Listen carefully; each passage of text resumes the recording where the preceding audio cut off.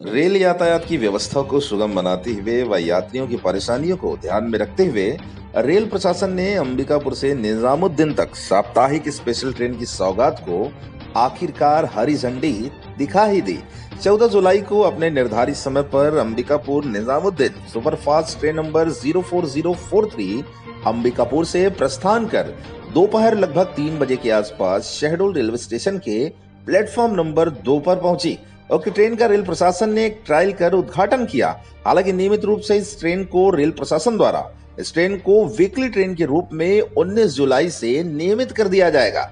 उद्घाटन के इस अवसर पर स्वागत में नगर की जनता सहित रेल विभाग के सैकड़ों अधिकारी व कर्मचारी मौजूद थे।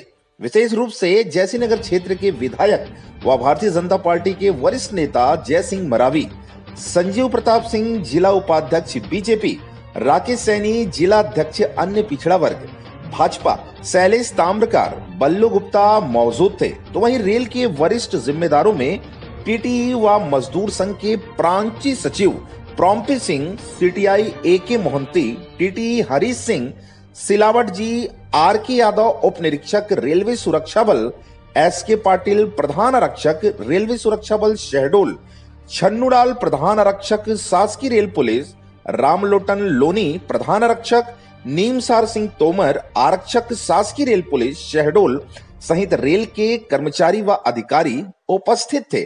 साथ ही शहडोल लोको पायलट श्रवण कुमार शुक्ला व शैलेंद्र शुक्ला, जिन्होंने शहडोल से उक्त ट्रेन में चालक की ज़िम्मेदारी निभानी थी, उनका भी माल्यार्पण करते हुए बधाइयाँ दी गईं व स्वागत किया गया।